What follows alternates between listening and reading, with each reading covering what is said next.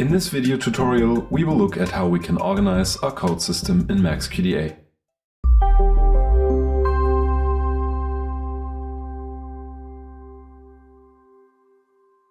In principle, you can create new codes via these buttons or via the shortcut Alt-N.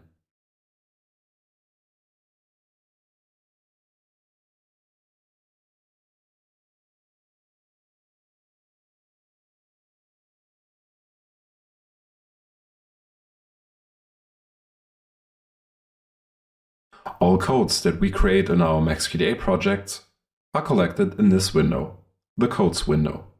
Here we can arrange the already created codes hierarchically.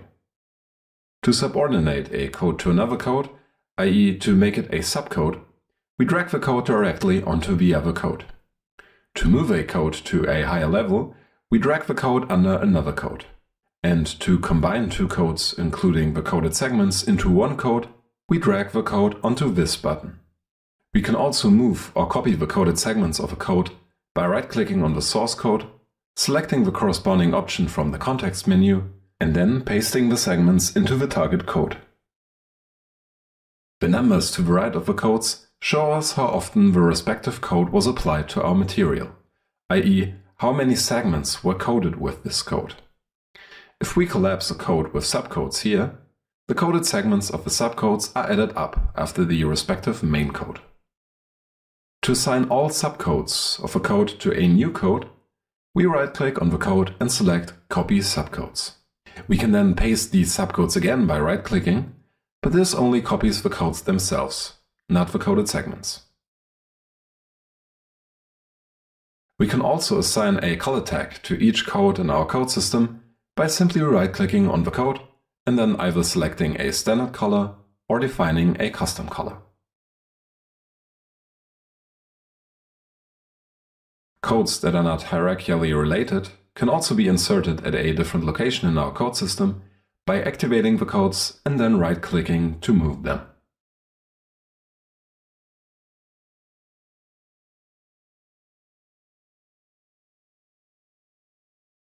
If we right-click on a code, we can also sort the respective subcodes alphabetically or by frequency. Further information, such as the creation date, can be displayed in the table view. Now I can resort the codes by clicking on one of the columns or filter out certain codes by right-clicking here. If we want to rearrange our code system outside of the existing hierarchical system, there are several options available to us. Firstly, we can work with code sets. With code sets, we can create an alternative order of our codes without changing our actual code system. To do this, we first activate the codes that we want to group together in a set, and then create a new code set here. The codes that have already been activated are automatically inserted into a new set.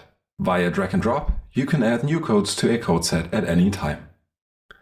Now, we can easily activate the codes contained in a set by activating the entire set.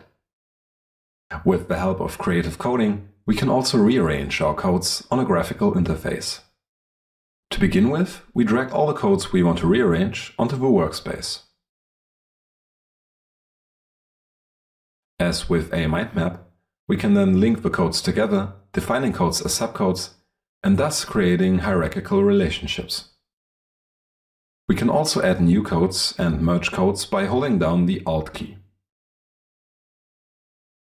The changes we have made this way are transferred to our code system as soon as we exit creative coding.